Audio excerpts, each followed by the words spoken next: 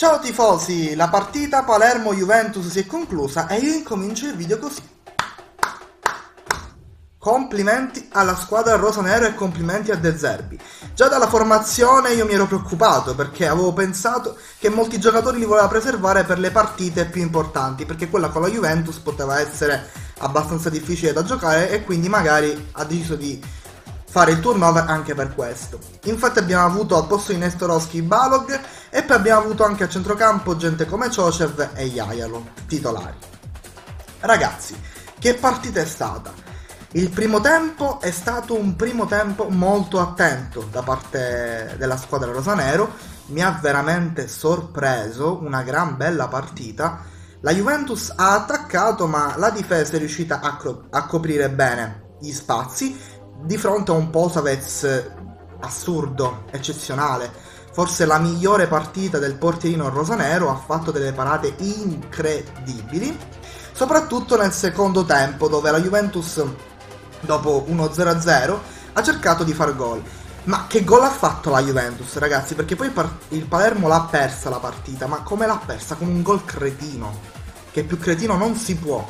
Praticamente Dani Alves fa un tiro, così prova, perché giustamente il Palermo è chiuso, non riesce a trovare spazi e giocatori a cui dare la palla, tira da fuori, perché lui comunque è dotato di un buonissimo tiro, c'è una deviazione e viene beffato Posavez, non riesce ad arrivare e la palla entra in rete. La Juventus passa in vantaggio così. Inizialmente avevo pensato che la palla era stata deviata da un giocatore tipo con l'anca, in maniera doveva cercare in qualche modo di deviarla, ma quando ho visto il replay ho, ho pensato, ma perché? Perché? Goldaniga avevi fatto una grandissima partita, la, la Avevi fatto una grandissima partita mercoledì. E ora che cosa mi fai? Un colpo di tacco, non c'era motivo. Non la dovevi toccare, magari Posavez magari la mettevi in corner, comunque era un tiro abbastanza innocuo. E tu che fai? La prendi col tacco. Ma perché? Perché devi fare queste cose inutili? Per fare il figo. Cioè, io, io, non so che dire. Questo ragazzo ha delle buonissime potenzialità, ma si perde in un bicchiere d'acqua. E già questo gol a me ha dato tanto, tanto fastidio. Perché il Palermo aveva giocato bene e perderla per un gol del genere dà molto fastidio.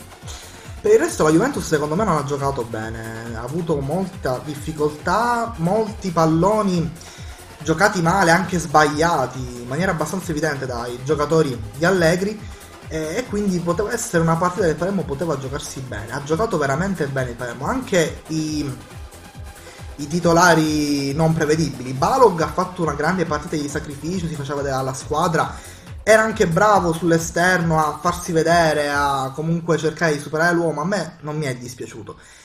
Ciò c'è Vegliaia, lo diciamo, non, han, non hanno fatto granché, però alla fin fine nell'interesse la squadra aveva giocato bene. Poi De Zerbi cerca di cambiare qualcosa, mette Nestorowski, eh, Iliemark e Bruno Enrique. Però diciamo che il Palermo poi cerca di attaccare, ma a me ha sorpreso l'atteggiamento della Juventus, perché la Juventus di solito è difficile che si accontenta di un 1-0, cerca anche di fare il 2-0 per chiudere il match, invece no, la Juventus fa il primo gol poi fa qualche tentativo in successione, però poi si chiude in difesa e cerca poi con le ripartenze. Una cosa che a me ha lasciato abbastanza perplesso. Io se fossi nei tifosi juventini mi preoccuperei perché è un atteggiamento che la capolista non dovrebbe assolutamente avere.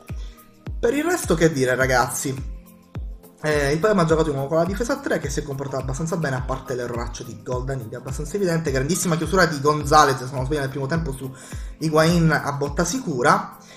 E poi Posavez già ne ho parlato. In attacco Diamanti si fa sempre vedere, ragazzi. E poi in entrati non è che si sono fatti vedere granché. Però verso la fine il Palermo ha attaccato in maniera evidente, molto evidente, grandissimo Alesami. Alesami io lo critico certe volte perché in difesa quasi quasi mi fa venire i brividi. Infatti, quando è entrato quadrato, io ho detto siamo spacciati, siamo proprio perché che cosa succede? Che quadrato sull'esterno il suo avversario era Alesami. Alesami in difficoltà è andato molto a disagio quando c'era gente come Caglion, quindi immaginatevi contro quadrato.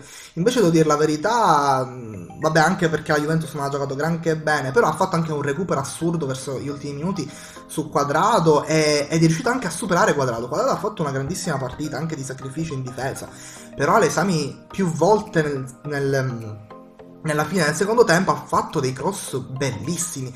Purtroppo però i giocatori rosanero non sono riusciti a colpire questo pallone vagante in aria. Il solo Nestorowski nella prima occasione e poi successivamente si è buttato anche Bruno Enrique in qualche occasione, però niente, non siamo riusciti purtroppo a pareggiare il match, però ci abbiamo provato fino alla fine. De Zerbi è stato un uomo di parola, abbiamo giocato per giocarcela, non ci siamo chiusi a riccio e quindi sono contento di questa prestazione, ragazzi. Sono molto, molto contento. Speriamo che nelle prossime partite eh, sia ancora in crescendo il gioco dei Rosanero.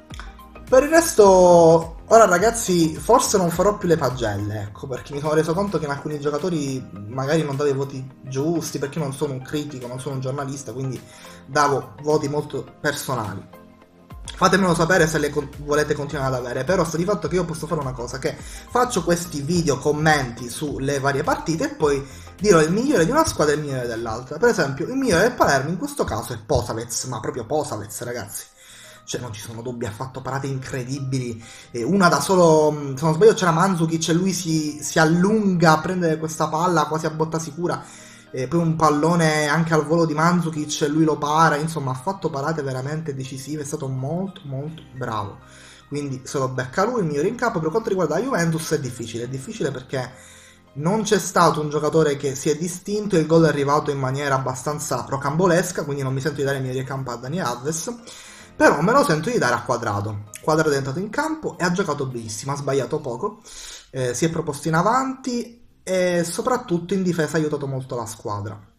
In alcune occasioni si fa superare da Alesami, però secondo me è merito del terzino norvegese che veramente si sta dimostrando un terzino abbastanza valido e ora sta anche dimostrando non solo di avere corsa una discreta tecnica, ma anche di saperla mettere dentro abbastanza bene con i suoi cross. Quindi per la Juventus secondo me quadrato, anche perché mh, mm, mi è sembrato quello che ha giocato meglio era il suo esordio, quindi l'ho voluto premiare così.